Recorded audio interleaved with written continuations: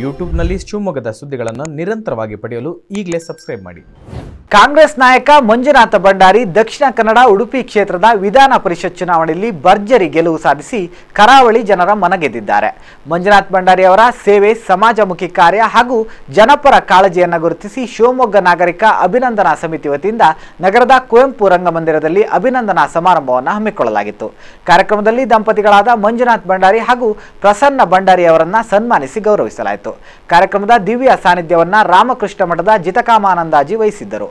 ಮಾಜಿ ಸಚಿವ ಎಂಬಿ ಪಾಟೀಲ್ ಕಾರ್ಯಕ್ರಮದ ಉದ್ಘಾಟನೆಯನ್ನು ನೆರವೇರಿಸಿದರು ಕಾರ್ಯಕ್ರಮದಲ್ಲಿ ಮಾಜಿ ಉಪಮುಖ್ಯಮಂತ್ರಿ ಡಾಕ್ಟರ್ ಜಿ ಪರಮೇಶ್ವರ್ ಕಾಗೋಡು ತಿಮ್ಮಪ್ಪ ಕಿಮ್ಮನೆ ರತ್ನಾಕರ್ ಮಧು ಬಂಗಾರಪ್ಪ ಅಭಿನಂದನಾ ಸಮಿತಿ ಅಧ್ಯಕ್ಷ ನಾಗರಾಜ್ ನಿವೃತ್ತ ಪೊಲೀಸ್ ಅಧಿಕಾರಿ ಕೆಂಪಯ್ಯ ಉಪಸ್ಥಿತರಿದ್ದರು असतो मा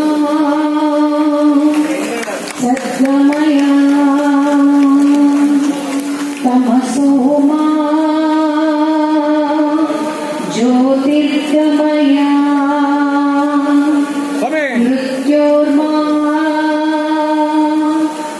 the